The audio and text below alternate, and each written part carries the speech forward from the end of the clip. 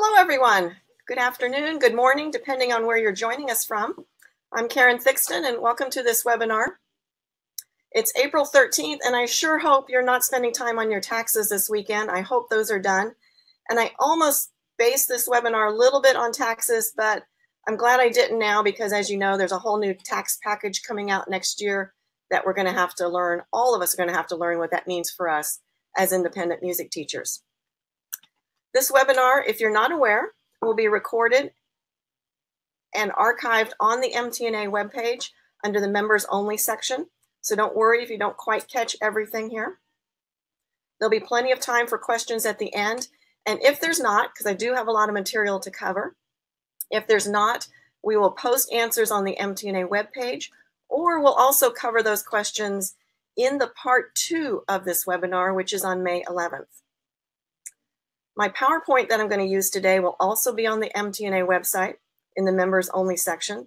And I've also asked MTNA to email you a copy of my handout, which is primarily the PowerPoint. So stay tuned for that. I'm now going to switch over to PowerPoint. I apologize for so many slides, but with this kind of data and business information, I think that's the best way for you to see everything that I want to share with you today. Give me just a minute to switch over to PowerPoint.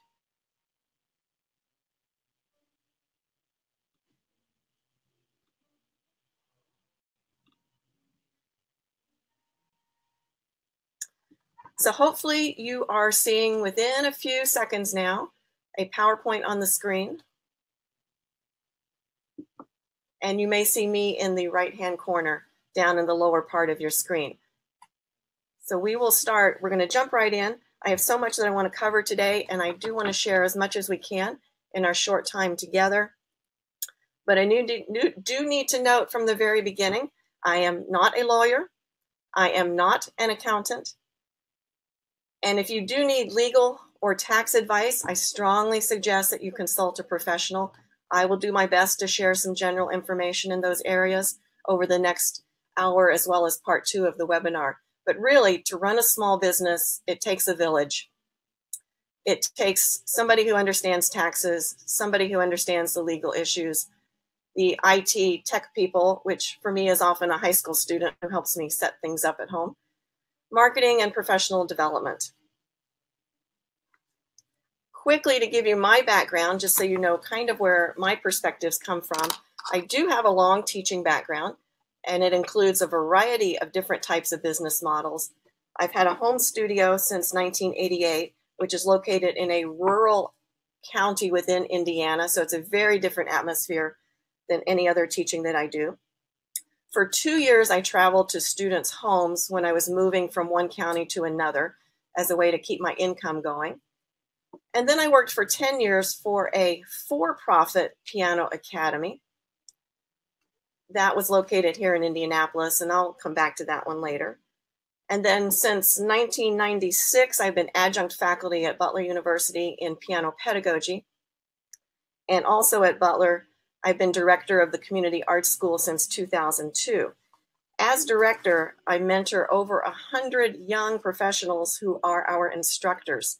What's unique is about our community Arts school is that we use college students as our primary instructors. They all have faculty mentors, and then I help to oversee all of the administrative and professional issues that they deal with.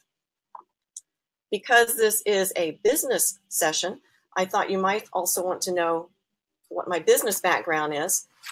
And it's been intertwined with music my entire life, so it's kind of kind of a mix here. As an undergrad, I had a double major in economics and music.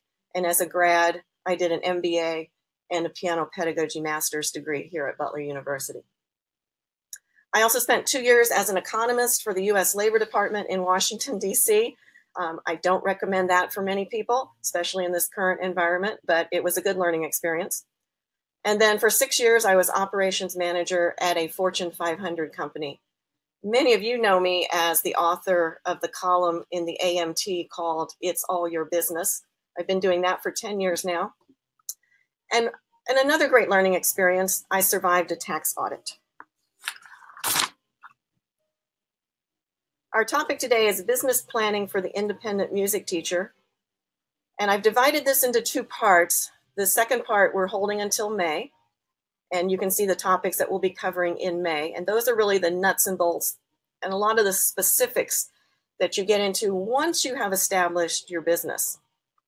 Part one deals more with things that you want to consider before you establish your business.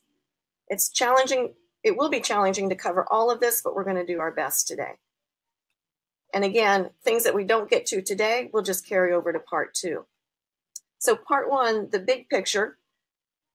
Here I'm going to talk mostly about global or broad issues that should be considered early in your planning process for any business, not just an independent music teacher. We're all creative, entrepreneurial minded teachers, but at some point, an idea needs detailed planning in order to succeed and be sustainable. Who is this webinar for today? One caveat, I deal mostly with young professionals, so I do have a bias towards speaking to them.